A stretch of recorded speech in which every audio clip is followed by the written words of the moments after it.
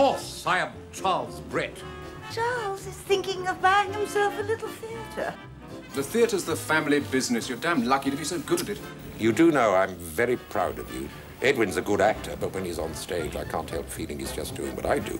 You're bound to be compared to Daddy to your detriment. Thomas is a writer, that's different. It's not in my line. Finished Act One last night and well into Act Two. I started with the tragedy and find it could be very well like comedy, with a dash of romance thrown in.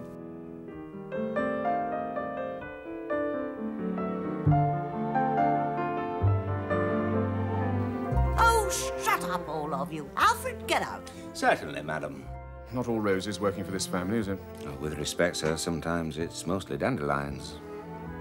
When you serve the tea, don't goggle at the master like one of them idiots at the stage door. There he was, up on the screen.